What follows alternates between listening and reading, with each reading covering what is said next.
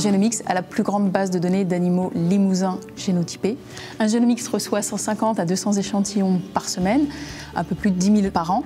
Genomics a été créé en 2010 à l'initiative des éleveurs, l'association Airbook Limousin, donc qui est une association d'éleveurs, ainsi que France Limousin Sélection, qui est l'organisme de sélection de la race limousine. Aujourd'hui, on est une équipe de cinq spécialisés en génomique avec deux doctorants en bioinformatique et génétique, ainsi que des ingénieurs pour euh, produire des tests génomiques de prédiction du potentiel génétique des animaux.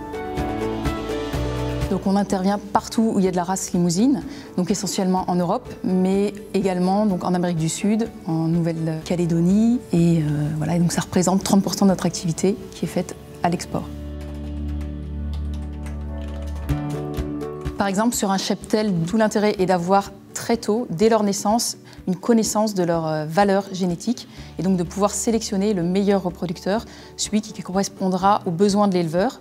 Il est le premier à connaître son cheptel.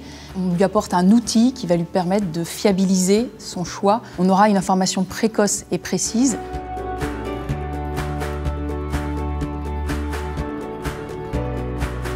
On a une activité bovine avec 90 euh, mères vaches allaitantes. C'est des animaux qui sont nés sur notre exploitation. On réalise des prélèvements de façon justement à être bien sûr des, critères que l'on recherche et des critères dont ils sont porteurs. On arrive à sortir des animaux précoces avec des, des bons rendements en viande et ça c'est lié justement à ces critères de sélection depuis le plus jeune âge sur les génisses qui nous permettent aujourd'hui d'avoir de plus en plus de rentabilité sur nos exploitations.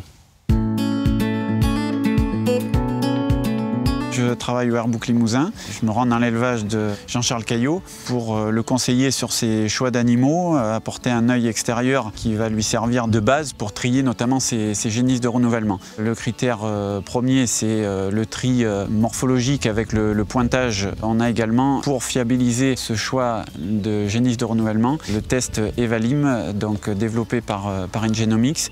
On évalue avec ce test pas moins de 12 caractères, sa morphologie dans son ensemble au travers du développement musculaire, du développement squelettique, le potentiel de croissance de l'animal, la finesse d'os également, la facilité de naissance. Avec ce test Evalim, on a la possibilité de connaître l'aptitude à l'allaitement de la génisse très jeune. Et ça, c'est un critère essentiel dans le choix des génisses de renouvellement. Ah ben pour moi, le test Evalim, c'est un outil d'avenir. Donc j'utilise les services d'Ingénomics depuis 2012. Et donc moi, j'attache beaucoup d'importance à la sélection sur la voie femelle.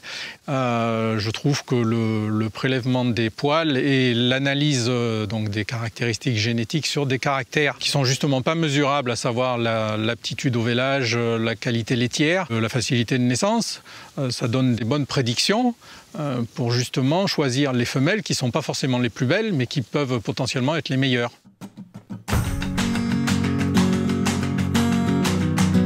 Le test permet aussi de vérifier la filiation de l'animal pour connaître sa généalogie précisément.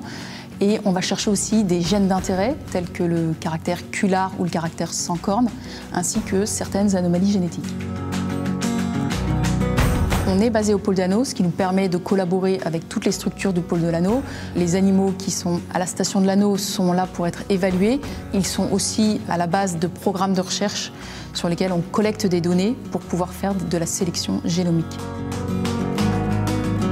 Le test génomique, c'est le moyen le plus simple, le plus efficace et le moins cher pour accélérer le progrès génétique. Donc ça m'a permis de gagner du temps et de ne pas, garder trop longtemps des, vaches qui ne sont pas bonnes productrices en réalité. C'est vraiment qu'on connaît la valeur de l'animal tout de suite.